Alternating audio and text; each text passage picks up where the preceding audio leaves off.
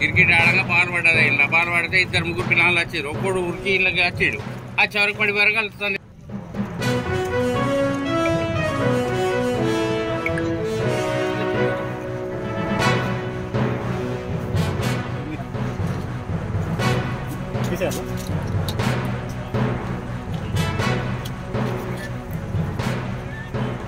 ఈ ఏనాడు పబ్లిక్ తిరిగే ప్లేస్లో?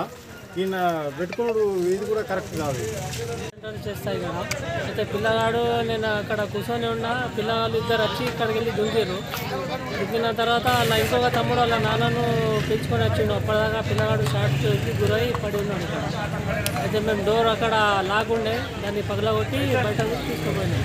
సంఘటన జరిగి రెండు గంటలు గడుస్తున్నా ఇంతవరకు కరెంట్ డిపార్ట్మెంట్ ఏ జాడలేదు. మరి మున్సిపల్ నడిబొడ్డునే జరిగింది.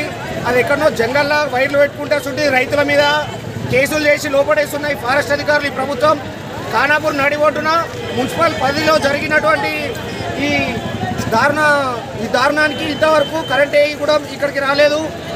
దీనికి సంబంధించిన మున్సిపల్ డిపార్ట్మెంట్ వారు కూడా రాలేదు.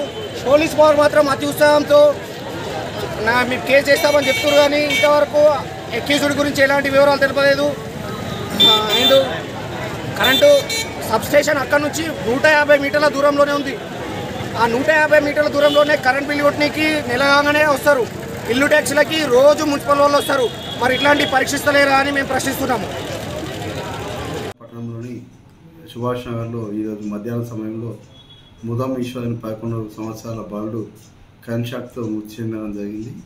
ఈ ఇతడు ఇతని ఫ్రెండ్స్తో క్రికెట్ ఆడుతున్న సమయంలో బాల్ పక్క ఇంట్లో పడడంతో ఈ విట్టల్ అనే వారి ఇంట్లో బాల్ పడడంతో బాల్ కోసం వెళ్ళగా అతడు కూరగాయల చుట్టూ ఫెన్సింగ్ పెట్టుకొని ఎలక్ట్రిక్ షాక్ లై- వైర్కు షా ఎలక్ట్రిక్ కనెక్షన్ ఇవ్వడం జరిగింది. దానికి తగిలి ఇతడు చనిపోవడం జరిగింది. ఈ ఈశ్వర్ వల్ల నాన్న రాము ఇచ్చిన పిటిషన్ మేరకు అతనిపైన కేసు నమోదు చేసి విచారణ జరుపుతున్నారు